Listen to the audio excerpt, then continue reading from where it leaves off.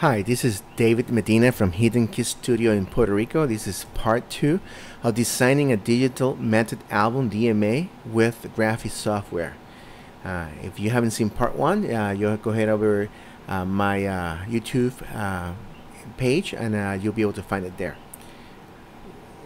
We already covered a lot of the basic stuff on how to design a DMA. Here, I want to just talk a little bit about the templates. I found out the best and easiest way to work with the DMA is taking using the templates that comes with it and using them either as they are or as a starting point to design uh, what we want to do. That's the easiest way because it comes with all the uh, bells and whistles that we may want to add.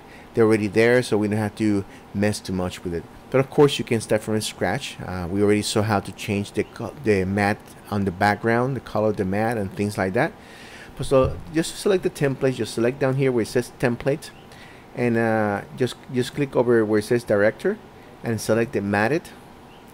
And then you have a series of choices. When when you select on the triangle next to matted, you can select a single page, a double spread, and how many images you want. For example, if I just want one image, I want to use one image. Just select uh, one, and I'll, you'll have a different kind of uh, uh, options here and we all kind of mats. Of course, once you what what I do is just to find the type of hole that I'm looking for and maybe the type of uh, uh, decorations uh, that I may uh, like on my mat. If I want a simple one or I want a very decorated one, I just look for that one, drag it into the page, and then I just basically can change things from there. So I use it as a starting point. For example, if I want something like this, I just drag this one here and uh, adds everything that I need. The place for the image the, uh, nice uh, uh, texture to the background which is already raised uh, to it because if I select it uh, and I look on the right hand side here on the finishes I can see that the the texture on the on the background is using a is already raised. So it's going to have the relief or the or the raise to the decoration uh, there is in the background. Uh, you can see here if uh, they're using a beige but let's say I want to use a blue. Just basically come here and change it to blue.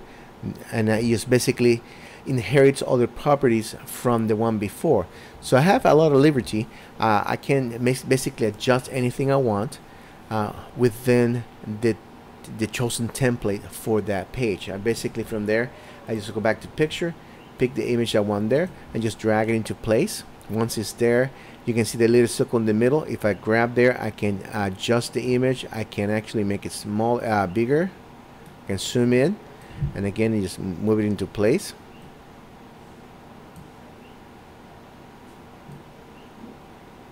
The way I want it. Set one up there. And uh, it's done.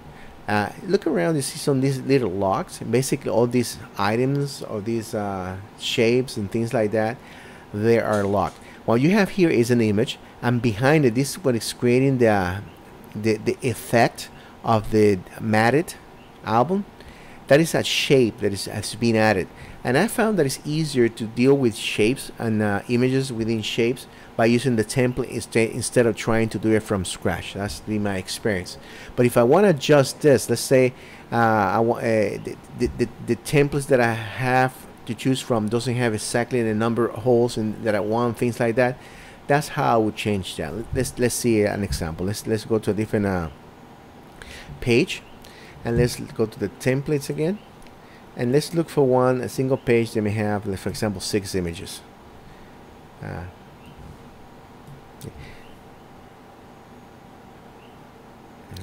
the, the, the problem may arise when you have images that are not necessarily the same uh, shape. For example, here we have six uh, uh, horizontal images, but let's say I have, I want to use, instead of six, I want to use uh, three uh, horizontal and one vertical. So what can I do?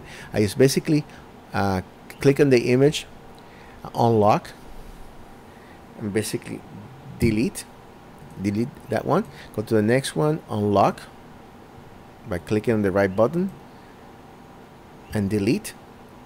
Now I want to change the size of this to make it into a vertical, but obviously I had to unlock it. So I just basically right button, unlock, and then I can hold here and you see here down here that you, you can see a line that's where you have to put your shape or your image hole just to keep the just keep in line with the uh, the mat that is being built digitally around it. So that's that's a guide that's very useful. Once I have it that way I just lock it again and I just basically just drag the images I want to use here. This, this I want to use this uh, nice uh, silhouette there. I can move it into place and then just add uh, three horizontals here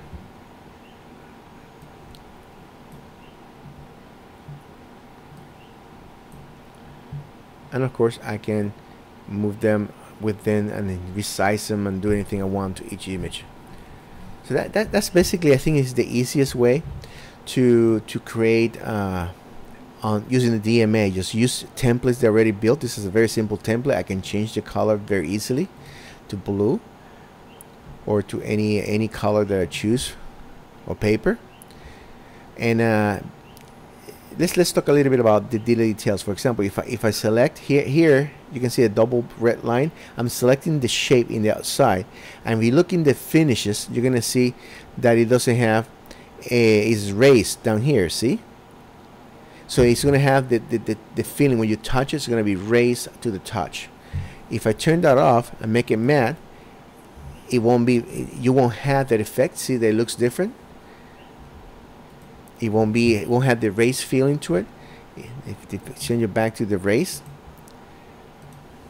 it will have it. And this is the little details you have to keep you keep your eye looking for it so you have consistency throughout the album because uh, and that's what I like the template to start with the template because it helps me keep that consistent. To make sure that when you're done with the album you go back and just check make sure that it has uh, is it is the way you designed it.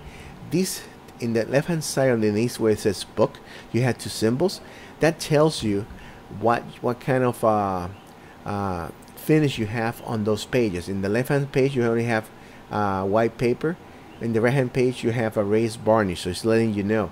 If you go down here to the thumbnails it has a little uh, percentage is metal in the left hand side and it's blue uh, matte in the right hand side. And it's going to tell you it has symbols. It tells you what you have within that page. Uh, the, the Graphisoftware for the DMA pamphlet that you can download for your trade area, it have what each one of those means. So I suggest that you download that and just look at it. In reality, if you follow the that, that pamphlet, excuse me, if you follow the pamphlet, the first couple of times you're gonna have a lot of questions, but just play with it, just just just mess with it, and it will help you get a hold of what each each uh, little thing does. So you can add text here, you can raise it, you can do a lot of different things. Uh, let's do another another uh, page so we can explore some how to change the templates. Select templates and let's look here. And let's say I have uh, mm, five images in a double spread. Uh, this one here. Looks nice. And what I like is it's already created for me. It's a square, two squares, and a, but let's say I want to change this two square to a vertical, and I change it to uh, horizontal. So that way it's gonna force me to change the uh, the mat around. So I, I, know you're gonna like that. So let's let's uh, the same way we did before. Just select select the one you want to delete, unlock, and delete then select the top one unlocked and grab the uh, the bottom and just bring it see the uh, the the the, uh, the lines? Just take it to to that line and you're done with that one. Just lock it into place just to make sure it doesn't move or doesn't have anything happen. This one stays the same way but this one we want to make it into a horizontal. Okay. For that we're gonna have to change we we're gonna have to move the entire thing see we cannot move it because everything is locked. That that uh, to be honest is a, it can be a bit daunting because you have to basically unlock everything. And there's a shortcut. Just hit L and it's, it's a lot faster. And then select don't forget to select the uh, the, the frame around. And everything is, is already selected. So just basically you need to select everything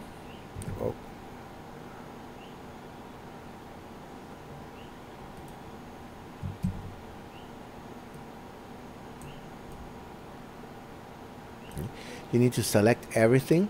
So and you do that by hand. You select first the frame then using the shift. Using the uh, the command uh, key on the Apple I'm not sure I think it's the control on the PC no sorry. It's a shift excuse me. And you just can select each one and finish by selecting the shape and then you just move it to to to the left where you think you're gonna have it. Don't worry too much about the background shape yet because we're gonna resize that. But let's say uh, we're gonna make this into horizontal. So I'm just gonna move it to where I want it. Just drop it there. Take the other one move it to to match it. You see the guideline coming in so that is done. Now I just need to move them into uh, where I want in the center. So basically again select the first one select the second one by holding shift click on the next one by holding shift and click on that one by holding shift. And let's see if uh, if I can put a, a move to the center.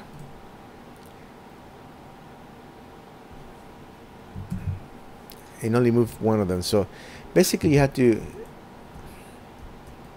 select select select select and move it uh, the center. Now let's work on the uh, on the see the reason it did not move earlier when I tried to move everything together is because you can see it's locked. So let's hit L. Now it's unlocked. So now we can move it. See how how he lines up with uh, with with the holes because you, you, you started with the template everything is, is set to the right size.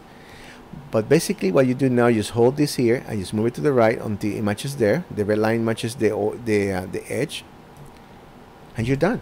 That's, that's how, you, how that's how easy it is just to create uh, to, to move things around in the software. So now lock everything back in locked, locked, locked, locked. Okay, now we have everything locked.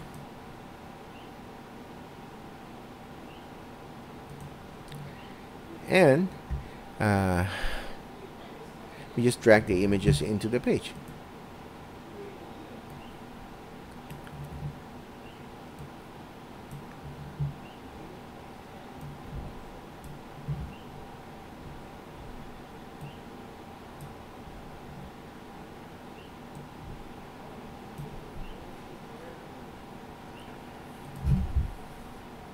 So I hope this uh, second tutorial helps just to see how you can modify.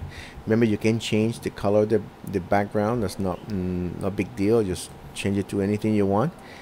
And uh, how to interpret what's going on on your page. Uh, so until next tutorial, we're going to go into a little bit more advanced how to create align spaces and things like that. So hope you're enjoying this tutorial and they're helping you just to explore the DMA, designing DMAs on the Graphisoftware.